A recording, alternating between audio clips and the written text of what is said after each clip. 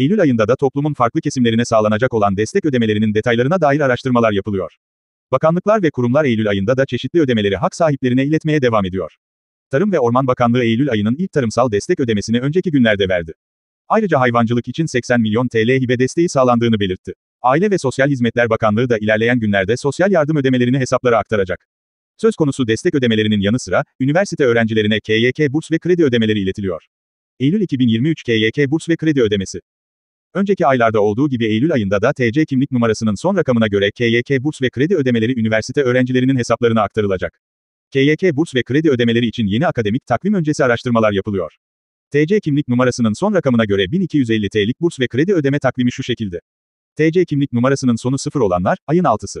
TC kimlik numarasının sonu 2 olanlar, ayın 7'si. TC kimlik numarasının sonu 4 olanlar, ayın 8'i. TC kimlik numarasının sonu 6 olanlar, ayın 9'u. TC kimlik numarasının sonu 8 olanlar, ayın 10'u.